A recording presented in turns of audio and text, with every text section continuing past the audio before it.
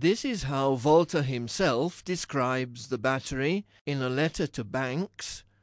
dated the 20th of March 1800. The apparatus I am telling you about, and which will doubtless amaze you, is none other than a number of good conductors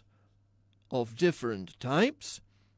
placed together in a particular way, 30, 40,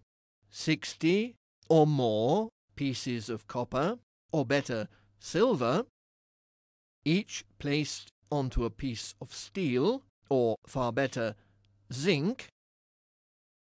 and an equal number of layers of water, or of some other humour, which is a better conductor than plain water, such as salt water, lye wash, etc., or pieces of pasteboard, leather, and so on, soaked in these humours.